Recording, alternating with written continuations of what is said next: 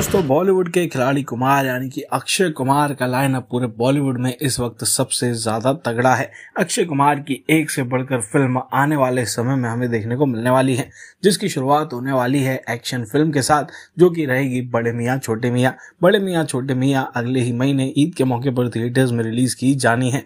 उसके अलावा दोस्तों, अब ऑडियंस की डिमांड है कि अक्षय कुमार को ज़्यादातर जो फ़िल्में हैं वो एक्शन फ़िल्में ही करना चाहिए। ऐसे में दोस्तों, धूम फोर को लेकर भी ऑडियंस की तरफ़ से डिमांड की जा रही है कि धूम फोर अक्षय कुमार को लेकर ही बनाई जानी चाहिए। साथ ही साथ दोस्तों, सोशल मीडिया पे काफ़ी बार ये रूमर्स आ जाते हैं कि अक्षय कुमार को धूम फोर के लिए साइन कर लिया गया है। हालाँकि दोस्तों, फ़िलहाल धूम फोर को लेकर किसी को भी फाइनल नहीं किया गया है, लेकिन ये तो तय है कि जब भी धूम फोर बनेगी, वो अक्षय कुमार के साथ ही बननी चाहिए, क्योंकि अक्षय कुमार से बढ़िया एक्शन धूम फोर में हमें किसी का देखने को नहीं मिल सकता। साथ ही साथ दोस्तों पब्लिक की भी यही डिमांड है कि धूम फोर में अक्षय कुमार को लिया जाए। धूम के फ़र्स्ट पार्ट में हमें जॉन अब्राहम देखने को मिले थे धूम टू में देखने को मिले थे, ऋतिक रोशन तो वहीं थर्ड पार्ट में हमें धूम के आमिर खान देखने को मिले थे, और उसी के बाद से ही धूम फोर को लेकर ऑडियंस की तरफ़ से डिमांड की जाती है।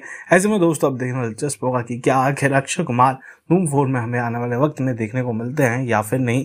तो दोस्तों, आपको क्या लगता है कि धूम फोर के लिए अक्षय कुमार एक परफेक्ट चॉइस रहेंगे या नहीं? हमें कमेंट करके ज़रूर बताएँ। साथ ही आप भी अक्षय कुमार के फ़ैन हैं तो इस वीडियो को लाइक और चैनल को सब्सक्राइब ज़रूर करें।